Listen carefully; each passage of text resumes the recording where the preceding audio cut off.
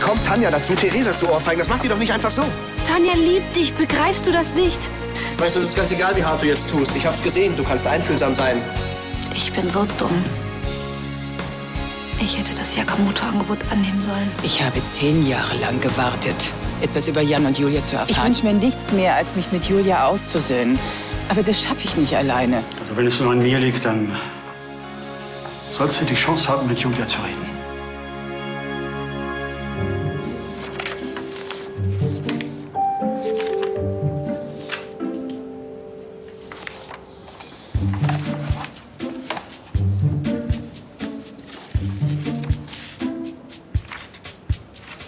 Alles Müll. Das sind ja auch nur die ersten Ideen. Linie Clarisse ist keine Modeschule, wo du dich ausprobieren kannst. Ich will professionelle Arbeit sehen und zwar vom ersten Tag an. Wir lassen hier eine alte Erfolgsgeschichte wieder aufleben. Ich will neue Entwürfe. Bis morgen. Bis morgen? Hast du mal auf die Uhr geschaut? Schieb doch woanders eine ruhige Kugel, wenn du dich überfordert fühlst. Becker, ich biete dir hier eine Chance. Nutz sie. Danke, das war's für heute.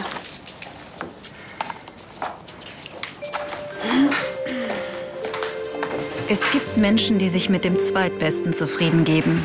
Ich habe nie dazu gehört. Schwarz oder weiß, gewinnen oder verlieren. Dazwischen gibt's nichts. Hab ich's mir doch gedacht, du arbeitest noch. Ich habe uns was zu essen mitgebracht. Keine Sorge, du hast zwar im Gremium gegen mich gestimmt, aber ich lass dich trotzdem nicht verhungern. Weißt du was, Sebastian? Spar dir doch deine Charmoffensive für Lydia, ja? Nur weil ich mit Lydia in losem Kontakt stehe, heißt das doch nicht, dass sich zwischen uns irgendwas ändert. Ich habe lang genug auf der Ersatzbank gesessen. Die Zeiten sind vorbei. Tanja, Lydia und ich sind geschieden. Ich bin hier in Düsseldorf bei dir und dem Baby. Was für ein Zeichen brauchst du noch? Auch wenn die Brücke aus Gold ist, solange du nicht die Einzige bist, die sie überquert, ist sie nichts wert. Keine Ahnung. Überrasch mich.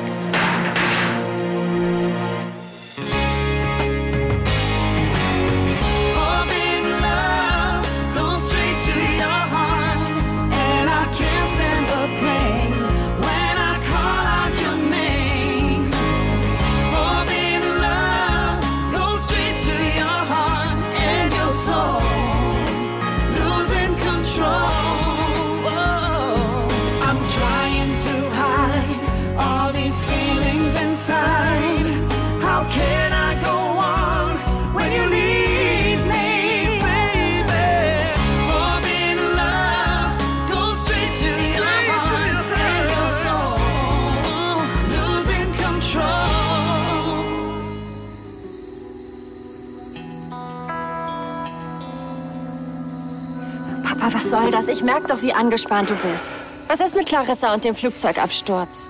Also, deine Mutter. Clarissa ist nicht... Ja, warte, warte einen Moment. Merk dir, was du sagen wolltest. Mendes? Ja? Mo Moment, was für Daten? Und wofür? Das... Nein, das habe ich nicht gewusst. Ja, okay, ich, ich kümmere mich darum. Dankeschön. Wiederhören. Das war die Flugschule. Habt ihr Timo jetzt doch angemeldet? Nein, das hat er offenbar selbst erledigt. Wo willst du hin? Ich fahre ins Zentrum und mache ihm die Hölle heiß. Und sag jetzt bitte nicht, er will doch so gerne Pilot werden. Das ist nämlich noch lange kein Grund, uns so zu hintergehen. Willst du dich in diesem Zustand ans Steuer setzen? Ja klar, warum denn nicht? Na, da bin ich sehr gespannt, was dein Wagen dazu sagt, wenn du ihn mit der Zange anlassen willst.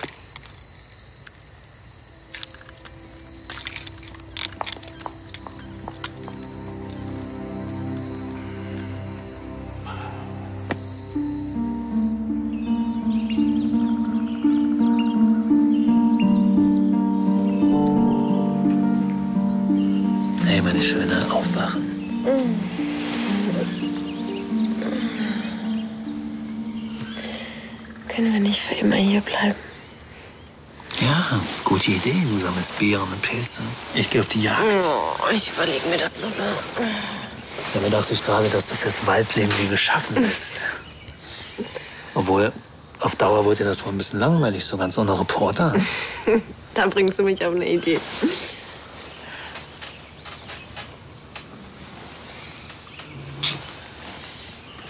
Was hast du vor?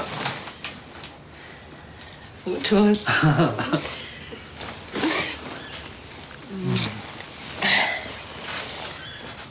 Aber ganz privat. Damit wir wenigstens ein paar Erinnerungen haben, wenn wir uns nach der nächsten Gremiumssitzung direkt zum Scheidungsanwalt aufmachen. Oh, begleitet vom Fotografen. Ohne Schlagzeilen lohnt sich das Ganze ja nicht. Dann müssen wir aber noch ein paar Gerüchte streuen, damit sie überhaupt was zu schreiben haben. Oder wir versuchen es mit der Wahrheit. Marlene von Lahnstein zurück. Noch schöner und stimmengewaltiger als je zuvor. Die Wunderheilung eines Musicalstars. Durch nichts als die Liebe.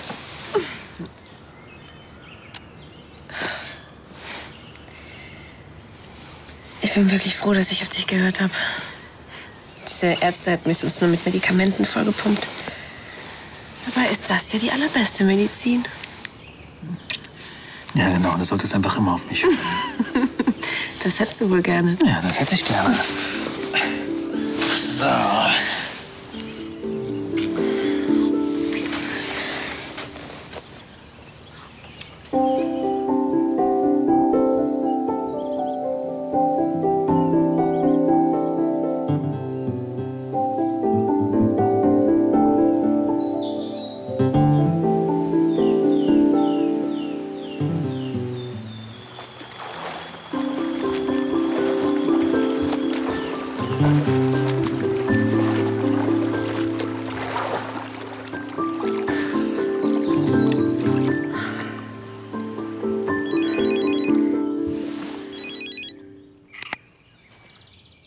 Ich hatte gehofft, die Wölfe und Bären hätten dich gefressen. Also wenn, dann esse ich die Beeren. Blaubeeren, Brombeeren. Aufregend. Ach, Tanja, du weißt überhaupt nicht, wie schön es hier ist. Gibt's irgendwas Wichtiges? Äh, ja, weißt du zufällig, wo Tristan steckt? Nein. Und es interessiert mich auch nicht. Uh, also falls Sebastian der Grund für deine Bombenstimmung ist, sollte er dann nicht eher auf dich sauer sein? Falls Dubai für uns in Frage kommt, kann ich das Projekt auch durchsetzen. Garantiert. Wissen Sie was? Mailen Sie mir doch schon mal die Eckdaten und die Gewinnaussichten. Danke. Da scheint sich ja jemand seiner Sache ziemlich sicher zu sein. Das scheint nicht nur so, das ist auch so. Sei mal lieber nett zu Sebastian. Sonst hast du nämlich gar niemanden mehr. Also nur, falls ich mich in naher Zukunft aus dieser Freundschaft verabschiede. Keine Sorge. Ich habe was, was er unbedingt haben will. Du rechnest mit Tanjas Stimme? Die Mall in Dubai ist ein Millionengeschäft. Und Tanja führt nun mal die Immobiliensparte der Firma. Ja, aber der Vorschlag kommt von dir. Eben. Muss ich das jetzt irgendwie verstehen? Du weißt doch, sie liebt mich. Aber das wird er nicht erfahren, auch nicht von dir. Äh, oder hast du es schon weitergetratscht? Äh, Nein, natürlich nicht. Ich misch mich doch da nicht ein. Marlene, ich warn dich. Uh, jetzt habe ich aber Angst. Das solltest du auch haben. Das Letzte, was ich jetzt gebrauchen kann, ist, dass Sebastian denkt, er hätte irgendwas gegen mich in der Hand. Naja, er bekommt ein Kind zusammen. Sowas verbindet doch irgendwie, oder? Na, nicht so wie die wahre Liebe. Er trauert Lydia hinterher. Tanja ist allen Ernstes eifersüchtig? Auf Lydia? Ich glaube schon. Sie will jedenfalls, dass ich mir was einfallen lasse, damit sie auch merkt, wie viel mir wirklich an ihr liegt. Du spielst mit ihren Gefühlen. Was glaubst du, was passiert, wenn sie das rausfindet? Keine Sorge. Sie wird mir alles abkaufen, was ich ihr erzähle. Und ich weiß auch schon wie. Oh, ich muss Schluss machen. Hagen ist zurück. Okay, erspar mir die Einzelheiten. Und äh, ansonsten hältst du auch die Klappe, verstanden? ja, alles klar, schon gut. Tschüss. Hey, Wer war das? Tanja. Hm, Schöne Grüße. Oh, ich mache jetzt mal Frühstück.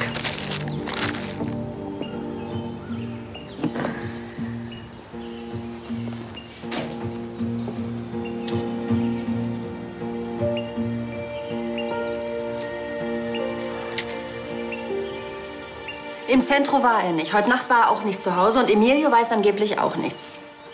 Ich möchte wissen, wo zur Hölle er sich jetzt schon wieder rumtreibt. Wahrscheinlich nimmt er gerade seine erste Flugstunde. Ist was? Wir wollten uns eigentlich mal deine neue Flugschule ansehen. Wie jetzt? Habe ich. Habe ich was verpasst? Du nicht, aber wir vielleicht. Willst du uns vielleicht irgendwas sagen? Spionierst du mir nach? Du, das war gar nicht nötig. Deine Flugschule hat angerufen, weil die noch ein paar Daten von dir brauchen. Wie haben die dich eigentlich aufgenommen? So ganz ohne unsere Zustimmung. Du hast doch nicht etwa unsere Unterschriften gefälscht. Was sollte ich denn machen? Ja, vielleicht mit uns reden? Ey, Du machst immer sofort dicht, wenn ich vom Fliegen erzähle. Ich kann doch nichts dafür, dass deine Mutter beim Flugzeugabsturz gestorben ist. Woher hast du überhaupt das Geld? Geliehen von einem Freund. Ein paar tausend Euro. Was ist das für ein Freund? Kennt ihr nicht, ist auch egal. Den will ich kennenlernen. Vergiss es.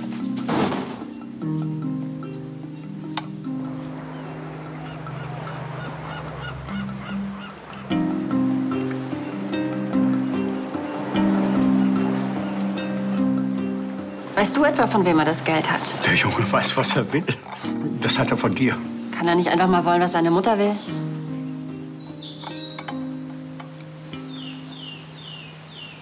Was wolltest du mir eigentlich gestern sagen?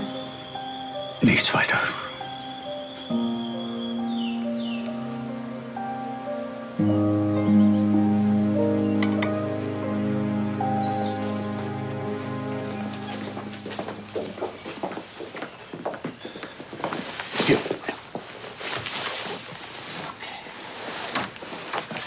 Danke, Justus. Den, den Rest schaffe ich allein. Selbstverständlich, Graf Launstein. Was soll denn das werden? Du wolltest doch, dass ich dich überrasche. Hat bis jetzt nicht geklappt. Was wird's denn, wenn's fertig ist? Abwarten.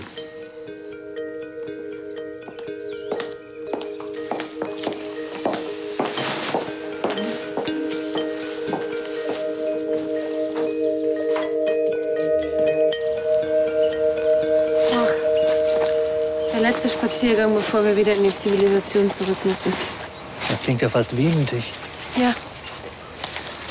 Genau so hätte ich mir unsere Hochzeitsreise immer vorgestellt. In einer einsamen Hütte im Wald? Nein, natürlich nicht. Aber so nur wir beide. Keiner, der uns stört.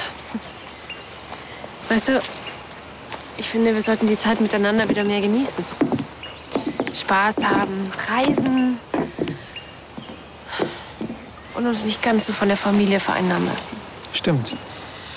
Vielleicht sind wir ja irgendwann nicht mehr nur für uns. Du wünschst dir einen Hund. Ich dachte da eigentlich an was anderes. Du meinst, wir beide. Warum nicht? Würde uns doch gut stehen, so ein kleiner Fratz. Ja. Aber meinst du nicht, ist es ein bisschen früh? Ich weiß ja, dass du erst mal arbeiten willst, aber irgendwann? Ein kleines Mädchen, das aussieht wie du? Oder ein kleiner Junge, der aussieht wie du? Ich würde mit ihm zum Fußball gehen. Und ich würde euch einen Picknickkorb machen und unserer Tochter am Spielrand sitzen und applaudieren. Wie eine richtige Spielerfrau. Und an den Wochenenden fahren wir mit unseren Kindern hierher in diese Hütte. Grillen, gehen schwimmen. Deine Eltern würden ausflippen. Oh, würden die Kinder überhaupt nicht zu Gesicht bekommen. Aber dann hätten wir die Wochenenden wieder für uns. Sag mal, kannst du dir das gar nicht vorstellen? Ich meine, eine Familie mit mir?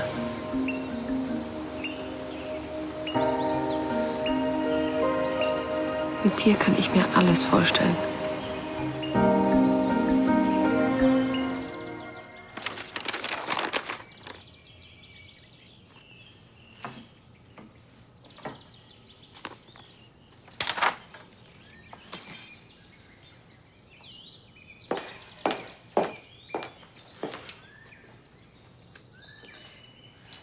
Was wird das, ein Vogelkäfig? Sehr witzig. Hm. Willst du jetzt eigenhändig ein kleines Nestchen bauen? Ah, warum denn nicht? Wie der Papa aus der Neubausiedlung.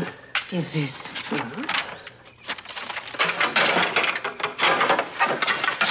Du glaubst nicht, dass ich mein Kind auch nur eine Sekunde da reinlege? Jetzt warte doch bitte erst mal ab, bis es fertig ist. Ja, wenn du so weitermachst, dann wird das nichts. Dann hör doch bitte einfach auf, mir auf die Nerven zu gehen.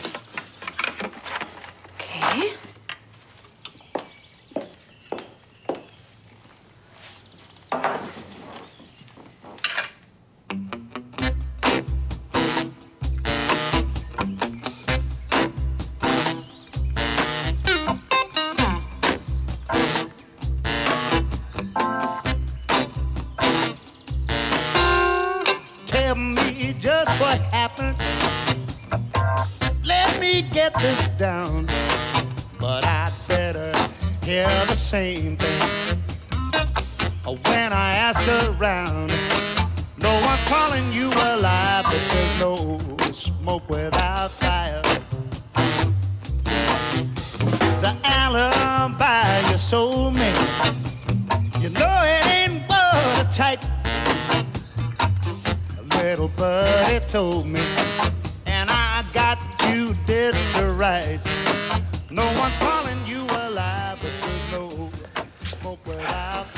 Und? Haben wir doch gut gemacht. Hier? Wie gefällt dir denn meine Überraschung? Hauptsache, du schaffst es das nächste Mal auch ohne meine Hilfe.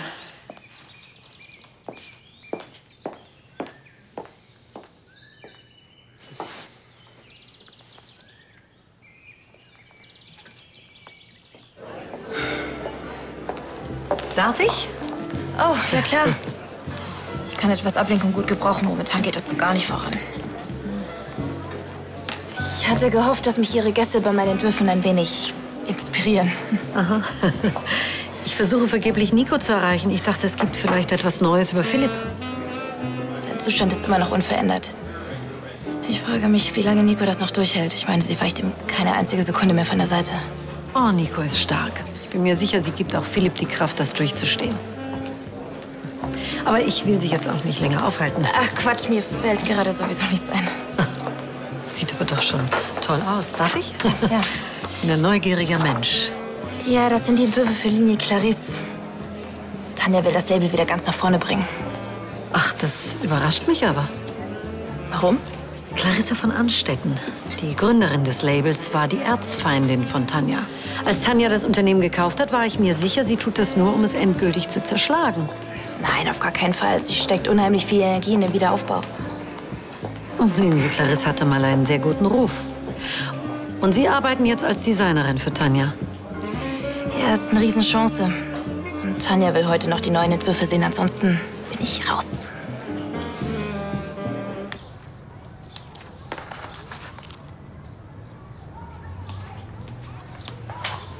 Hat dich die Arbeit gut gepackt oder bist du von Tanja von Landstein gefeuert worden? Im Gegenteil, ich habe endlich mal die Chance zu beweisen, dass ich mehr kann als nur Kaffee kochen und irgendwas kopieren.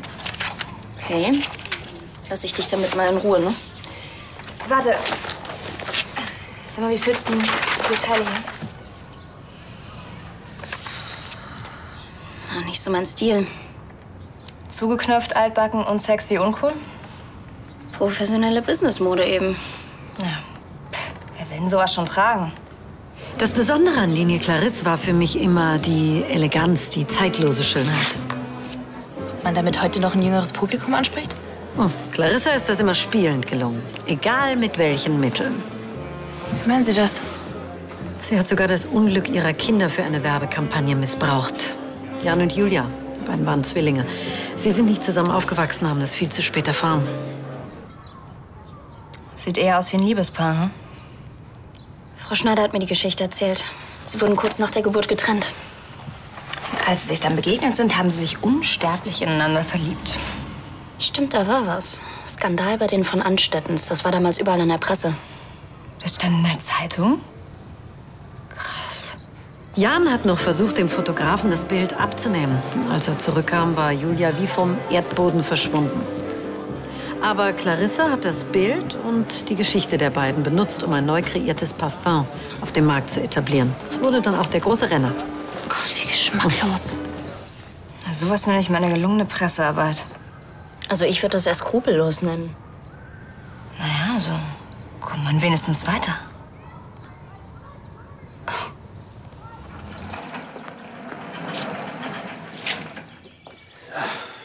Sag mal, sollten wir nicht langsam mal über einen Namen nachdenken? Für unser Kind. Ich dachte an Edelgard oder Siegfried. Ist vielleicht ein bisschen lang. Wie wär's denn mit Horst oder Erna?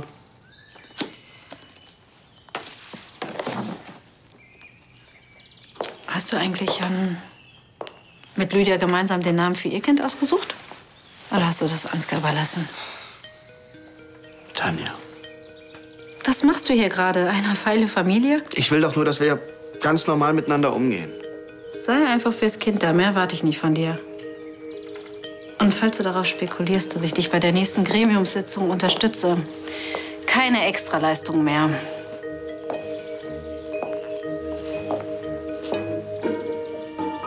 Gar keine?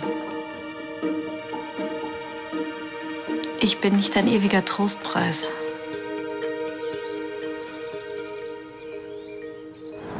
Warum hast du es ihr immer noch nicht gesagt? Ach, Clarissa, es war einfach noch nicht der richtige Zeitpunkt. Und wie soll der aussehen? Es wird immer ein Schock für sie sein. Ganz bestimmt, vor allen Dingen, wenn du deine Absichten auf eigene Faust verfolgst. Was soll das heißen? Na, komm, tu doch nicht so. Timo, die Flugschule. Der Junge hat für die Anmeldung die Unterschrift seiner Mutter gefälscht. Das wusste ich nicht. Natürlich nicht. Die Folgen deiner Handlungsweise, die waren dir schon immer gleichgültig. Timo ist mein Enkel. Ich wollte ihm einen Gefallen tun. Er ist bis jetzt sehr gut ohne dich klargekommen.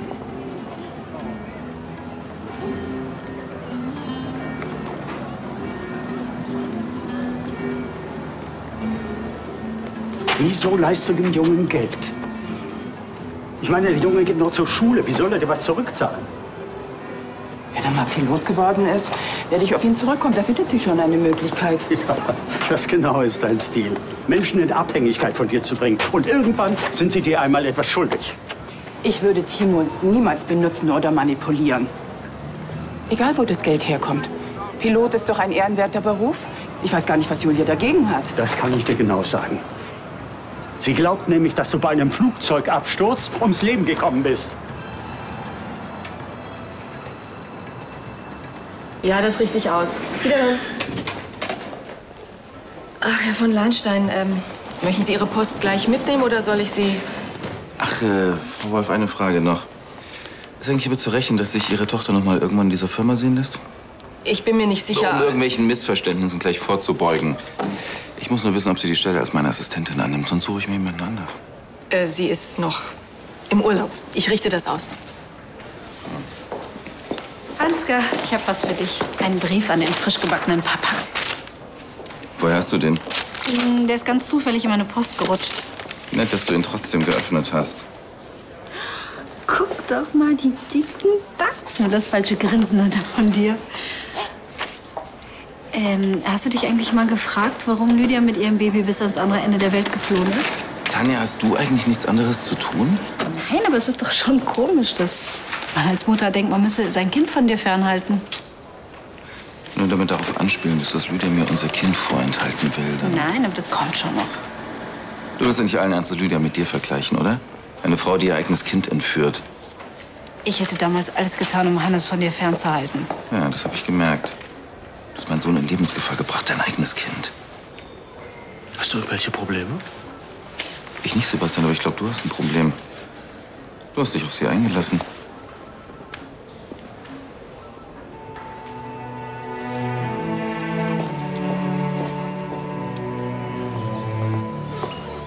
Sag mal, mein Schatz, hattest du zufällig vor, nach den paar Tagen im Wald hier noch nach Monaco durchzustarten? Wieso? Das sind alles total nützliche Dinge. Woher sollte ich denn wissen, was ich in den nächsten Tagen anziehen möchte? Man sieht das an, was da ist. Wenn man im Reitstall arbeitet, schon. So, und jetzt möchte ich noch eine Erinnerung. Die kannst du haben.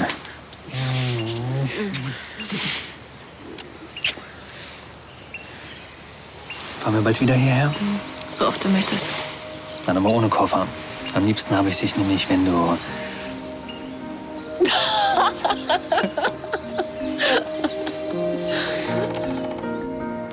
Dann haben Sie alle Infos, Herr Pflock. Das wird einer der besten Artikel in der Glanz und Gloria. Die neue Generation der von Lahnstein-Frauen. Ihr Leben, ihre Leidenschaft. In der nicht noch einmal jedes kleine Detail extra breit getreten werden muss. Aber Sie wissen doch, wie das läuft.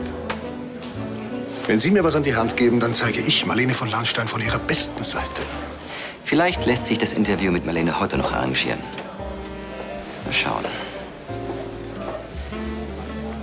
Hat der Pflock Ihnen schon gebeichtet, dass er ein großer Bewunderer von Ihnen ist? Werfen Sie doch mal einen Blick ins neue Heft. Nicht. Oh ja, das versuche ich immer zu überhören. Hallo. Sebastian, und? Wie läuft's mit dir und Tanja? Hat dein Trick 17 funktioniert und sie ist liebestrunken in deine Arme getorkelt? Noch nicht. Aber bald. Sebastian. Wenn ich Tanja verliere, verliere ich auch unser Kind. Und zwar für immer. Wie kommst du denn darauf? Weil ich kenne sie, das ist alles.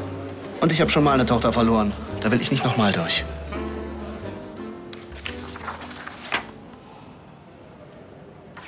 Wo sind deine? Das sind meine. Es gab doch damals diese Parfümkampagne und ich Frau Stiel, Sie sind hier, um Protokoll zu führen, das war's.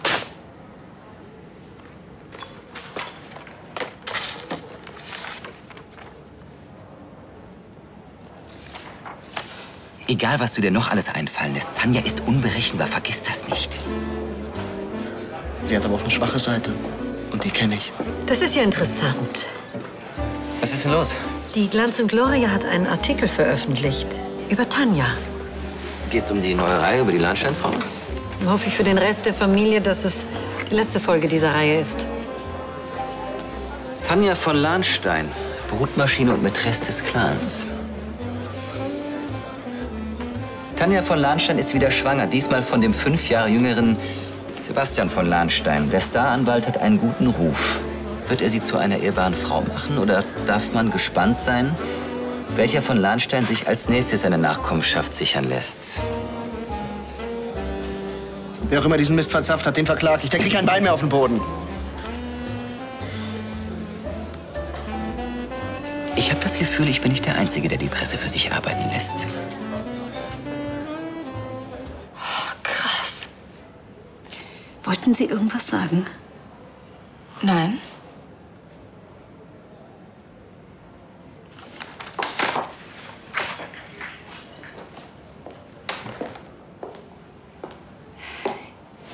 Nicht, dass Sie das sehen wollen.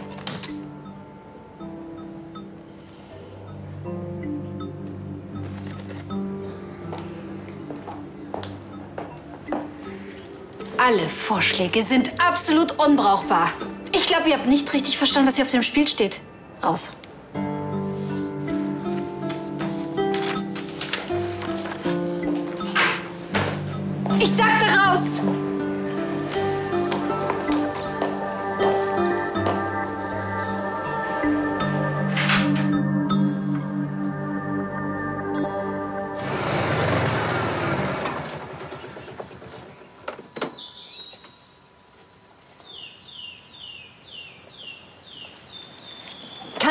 Mit der Kiste helfen?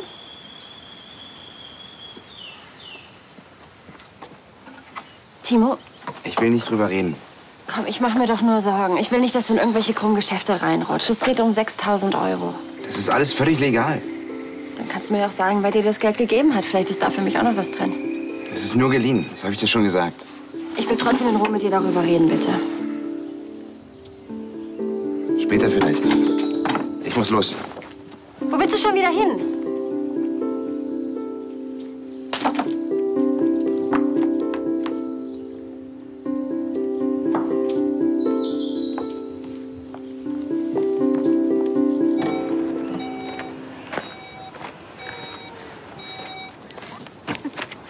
Okay, ich sag Justus Bescheid. Lass mal, ich mach das schon alleine. Toll, dass du auch endlich kommst. Hi. Dir auch einen wunderschönen guten Morgen.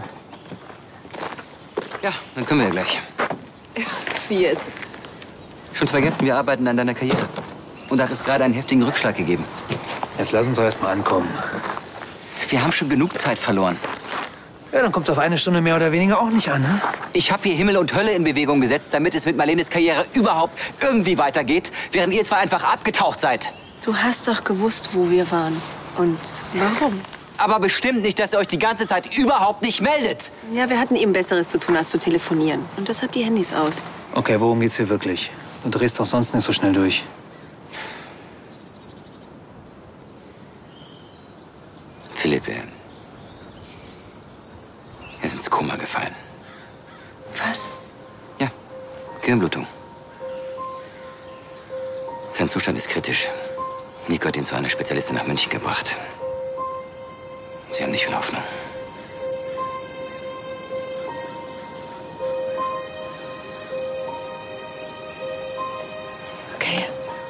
hast du mich heute eingeplant? Ricky Flock hat äh, ein Exklusivinterview für die Glanze Gloria angefragt und äh, am besten heute noch. Ja, dann sag ihm am besten schon mal, dass man ihn auf dem Weg ist. Ne?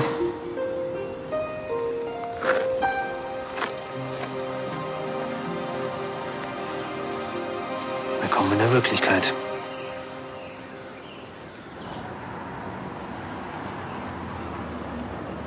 Hallo Timo. Schön, dass du so schnell kommen konntest. Frau Schwarz, wollen wir einen Kaffee trinken gehen? Ich muss Ihnen unbedingt von der Flugschule erzählen. Ich bin schon, ich bin schon angemeldet. Ja, darüber wollte ich mit dir reden.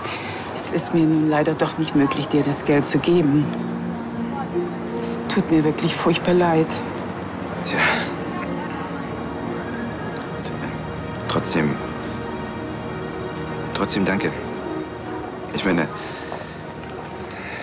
es, es war ja wahnsinnig großzügig von Ihnen, dass, äh, dass Sie mir überhaupt so viel Kohle geben wollten. Kannst du denn außer mir niemanden fragen? Hast du deinen Eltern erzählt, dass ich dir das Geld geben will? Meine Mutter hat gefragt, aber ich habe nichts gesagt. Das ist doch besser so. Sie soll sich keine unnötigen Sorgen machen. Klar.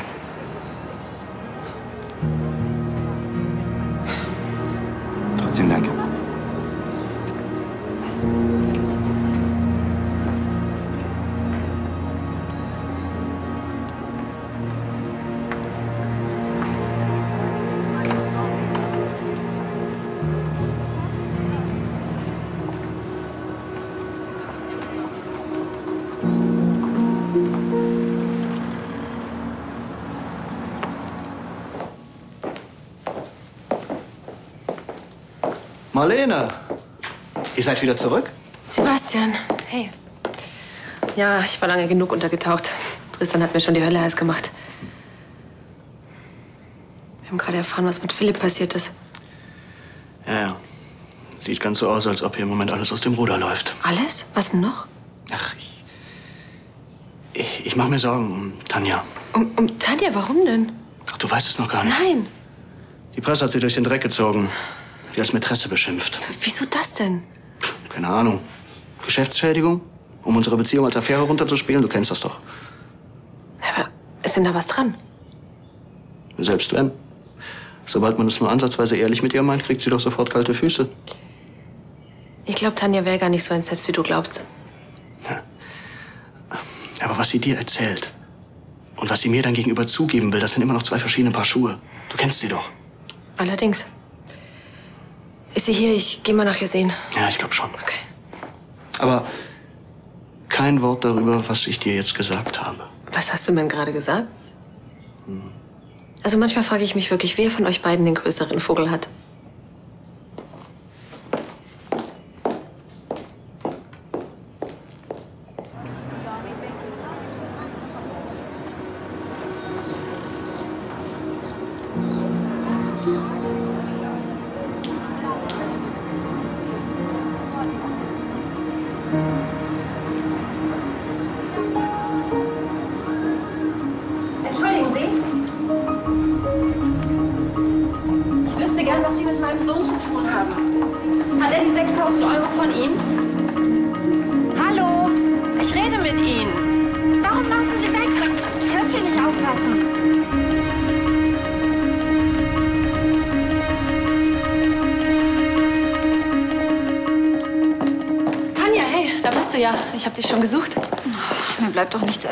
Ich muss dir dringend was erzählen. Ich habe aber gerade keinen Nerv auf deine Urlaubsimpression. Hm? Da entgeht dir aber was. Aber ich verstehe dich. Und wie machen wir jetzt diesen verdammten Journalisten fertig? Vielleicht kannst du ihm was vorsingen. Verzichte jedenfalls auf eine Gegendarstellung. Das kocht die ganze Sache nur noch unnötig hoch. Verstehe, da spricht die Expertin. Ja, mit schlechter Presse kenne ich mich aus.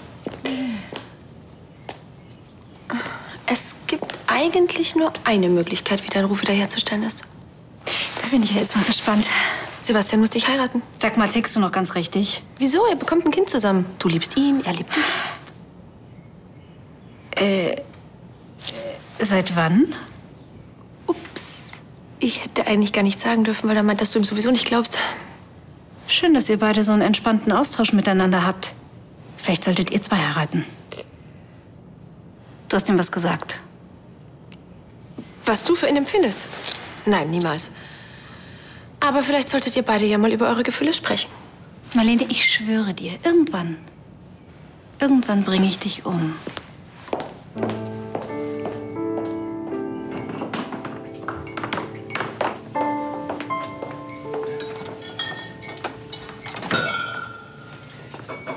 Dankeschön. Bitte.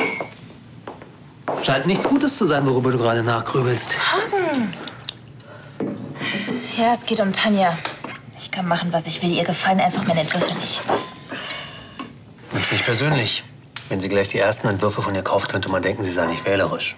Das ist ja auch nicht das Problem, aber. Ach, vergiss es. Erzähl mir lieber, wie es mit Marlene auf der Jagdhütte war.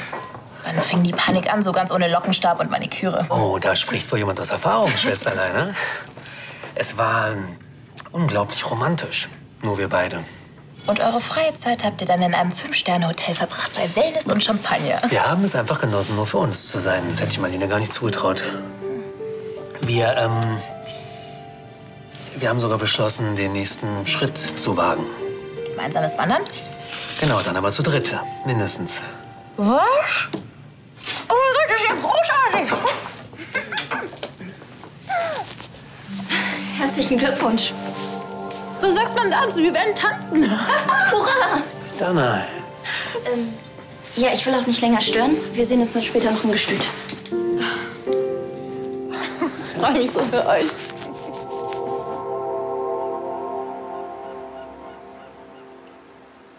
Und dann war sie plötzlich verschwunden. Du konntest also nicht verstehen, was die beiden geredet haben. Nein, ich stand zu weit weg.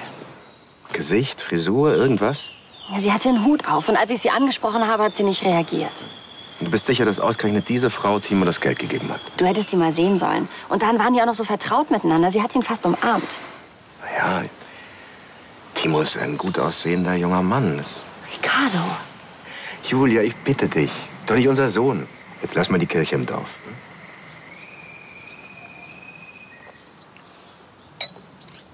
Ich weiß nicht. Bestimmt gibt es für alles eine ganz einfache Erklärung. Ich habe einfach kein gutes Gefühl bei dieser Frau.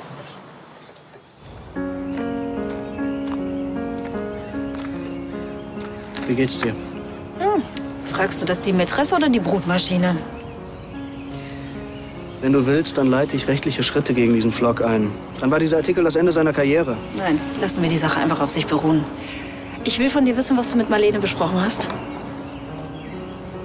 Ich glaube, das weißt du schon. Sag mal, ist das jetzt so eine Art Gegenoffensive, um von deinen Gefühlen für Lydia abzulenken? Sag mal, wann genau hast du eigentlich angefangen, so eifersüchtig zu sein? Ich bin ich. Quatsch. Ich möchte einfach nur ganz gern wissen, woran ich bin. Ich glaube ja eher, dass du Angst davor hast, weil du nicht weißt, wie du damit umgehen würdest. Womit? Mit Liebe.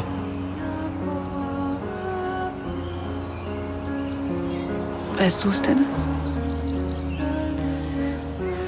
Nach meiner Erfahrung mit Lydia nicht so genau, nein. Das macht's nicht einfacher, oder? Aber ich würde alles noch mal auf eine Karte setzen. Wenn du dazu bereit bist. Ähm, ist das jetzt mal wieder ein Antrag von dir? Du willst doch immer, dass ich dir meine Loyalität beweise, damit du meinen Gefühlen vertrauen kannst.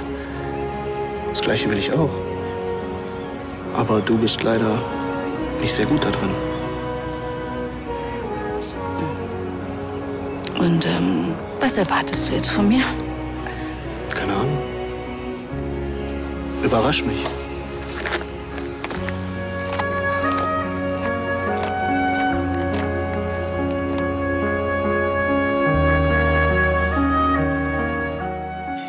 Du weißt also auch nicht, wie lange Kim noch wegbleiben wird.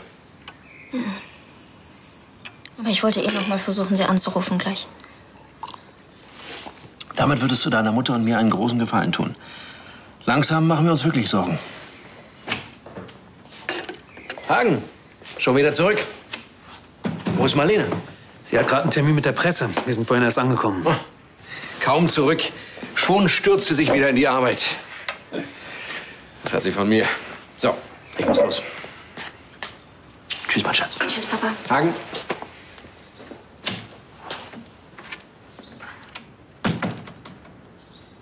Sie sehen blendend aus, Frau von Lahnstein. Vielen Dank. Schön, dass Sie hier sind, Herr Pflock. Marlene hat sich eine kurze Auszeit genommen, um ihre Stimme zu regenerieren. Jetzt ist sie wieder voll einsatzbereit. Ach, Heißt das, dass Sie sich weiterhin darauf vorbereiten, die Titelpartie in Lily Rose zu übernehmen? Ja, und ich freue mich auch schon sehr auf die Herausforderung. Dana, das äh, wegen eben in der Küche. Ich, ich bin mein ganzes Leben lang weggerannt. Vor der Verantwortung. Auch vor mir selber. Hagen, du musst dich nicht vor mir rechtfertigen. Ich will aber nicht, dass du irgendetwas falsch verstehst. Das mit uns beiden. Ist kein Problem. Vergiss es einfach. Ich bin froh, dass es zwischen Marlene und dir wieder so gut läuft und dass ihr eure Probleme endlich wieder im Griff habt. Wie hat denn Ihr Mann auf Ihre angebliche Affäre mit Ihrem Manager reagiert? Mein Mann vertraut mir und er weiß, dass es nie eine Affäre gegeben hat. Wir sind so verliebt wie am ersten Tag. Das freut unsere Leser bestimmt. Klingt fast so, als hätten Sie mit Hagen von Lahnstein das ganz Große losgezogen. Ja, das hab ich. Mein Mann ist wirklich sehr stolz auf mich und unterstützt mich wirklich auf der ganzen Linie.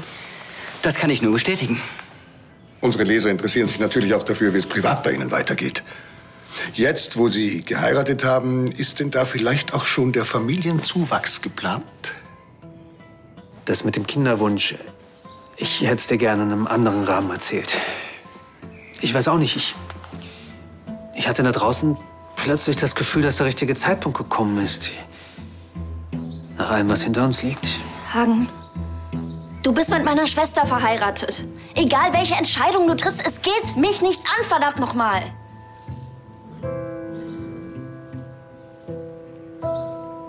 Du hast so viel zu geben. Du wirst bestimmt ein ganz toller Vater. Ja, natürlich wünsche ich mir Kinder. Das tut auch jede Frau, oder? Marlene ist noch sehr jung. In den nächsten Jahren wird sie sich einzig und allein auf ihre Karriere konzentrieren. Da haben die Kinder natürlich noch ein bisschen Zeit. Ja. Meine Karriere steht für mich erstmal an oberster Stelle. Und daran wird sich auch so schnell nichts ändern.